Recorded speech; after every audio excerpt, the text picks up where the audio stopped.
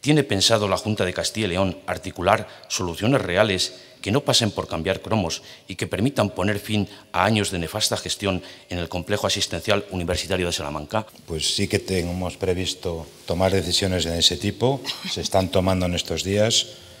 Eh, yo antes señalaba que ha habido un acuerdo con la Junta de Personal hace apenas unos meses, con la Junta de Personal y con los principales sindicatos, y eso me parece que es suficientemente significativo.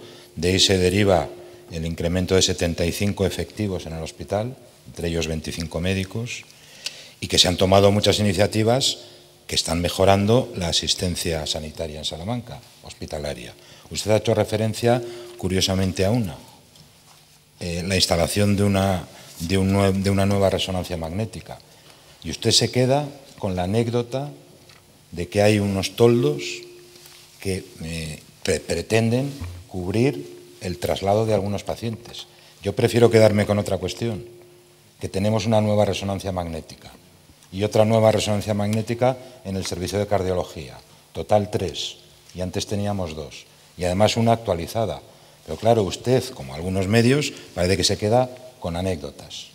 De igual manera que el señor Pablos parece que resume un problema en una cuestión que tiene que ver con, los con unos cuadros, usted, claro, es una anécdota. Yo digo, tenemos una resonancia más en cardiología y, vamos a tener una mucho más actualizada. Y después le comentaré, en función de lo que usted considere, otras muchas iniciativas que hemos adoptado en el Hospital de Salamanca. Pues mire, señor Mitadiel, el problema del Hospital de Salamanca es que efectivamente eh, tiene necesidades muy importantes, los profesionales nos reclaman nuevas iniciativas que estamos adoptando y le podría asegurar que hay una especie, si me permite la expresión, de disputa por el espacio. Estamos haciendo la mayor inversión y es curioso que cuando la Junta está haciendo la mayor inversión en el Hospital de Salamanca, 32 millones de, euros este año, algunos susciten los, los problemas de las infraestructuras. La mayor inversión que hace la Junta, cuando mejor van las obras, se suscitan estos problemas. Pero claro, usted dice, hubiera sido mejor planificarlo de otra manera.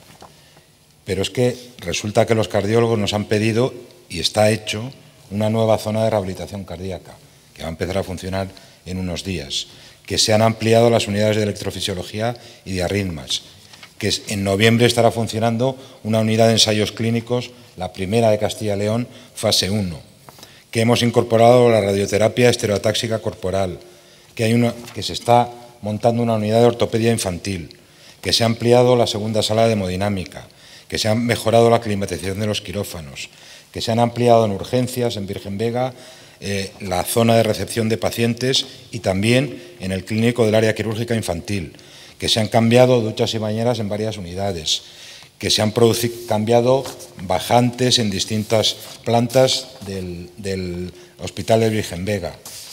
Estas cuestiones introducen una dificultad y su señoría debería conocer que esa unidad no está debajo de unas carpas, está en una instalación perfectamente homogadas y lo que usted llama las carpas lo que hacen es tapar un pequeño pasillo desde la zona de radiodiagnóstico hasta donde hacen las pruebas. Por eso digo que es una anécdota. A mí lo que me preocupa es, lo que me importa es que vamos a tener una mayor, en este caso, una unidad una resonancia magnética más en el hospital y que eso, desde luego, pasadas las siete semanas eh, hasta que se pueda hacer esa instalación, estarán en esa unidad móvil que, insisto, cumple perfectamente todos los requisitos y después el hospital tendrá una unidad más. Pero claro, dígale usted al jefe, de cardiología, sí, dígale al jefe de cardiología que no, que espere siete semanas antes de montar otra unidad que tenía previsto eh, para poder montar eh, esta planificación, señor Mitadiel, no es sencilla. Lo importante es que estamos actuando con una intensidad que yo creo que no se conocía en los últimos años, mejorando la asistencia en el Hospital de Salamanca.